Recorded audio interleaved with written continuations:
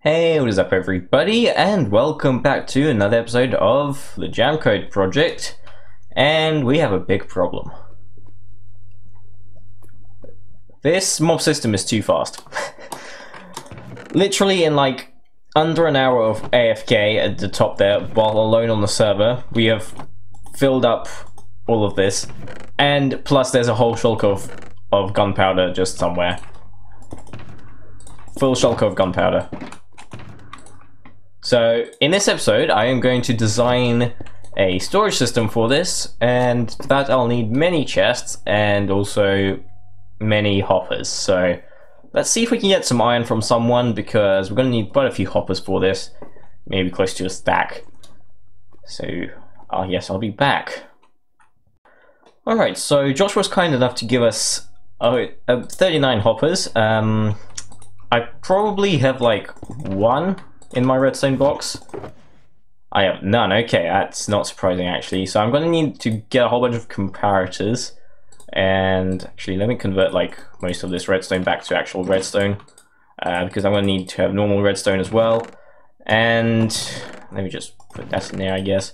Um, yeah, I'm going to need to make a bunch of comparators. I'm going to need to get a bunch of ice and a few other things real quick. Alright, so because I need so many chests and just so much wood in general, um, I'm gonna, I just prepared this tree farm and I'm gonna use it now, so let me show you how it's done. This is not my tree farm, it's Etho's tree farm, I, I don't remember if I linked it in the description, but basically you just do this. Then you go to the back, this can be done better, but I'm lazy. You just go to the back, and fun stuff happens.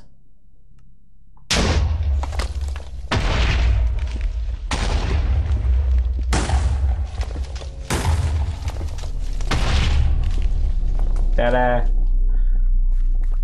Of course, there's a helicopter flying over me. And then you can just chop this down, or you can just leave it, doesn't really matter. Uh, as long as you can plant stuff at the bottom, it's fine. And yeah, you get, you get plenty of stuff from this. You can do this many times over.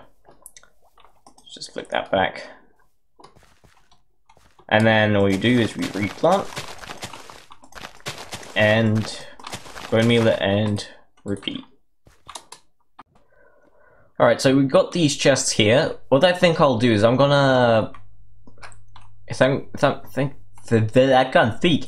Um, what I think I'm gonna do is I'm gonna have a dispenser underneath that when it's all finished, and it's going to shoot items out onto an ice stream. Uh, let's just go over here, make a small platform, and uh, when it shoots them out, I'm going to need to we need to control what position they're at. I think you use and the chests, but that, that might have changed. Um, so just extend this out.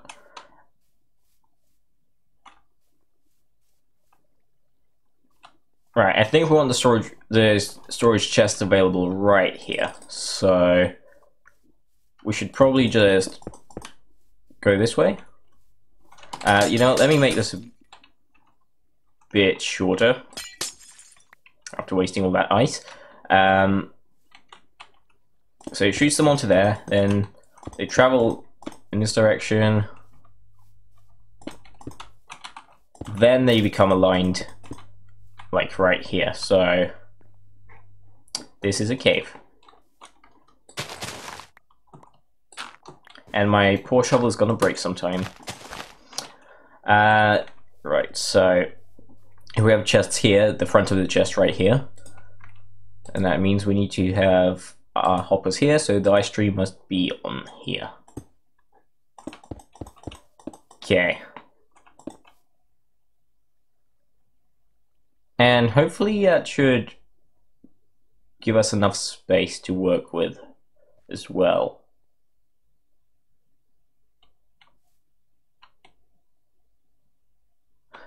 Might need to change that. Let me just do this off camera.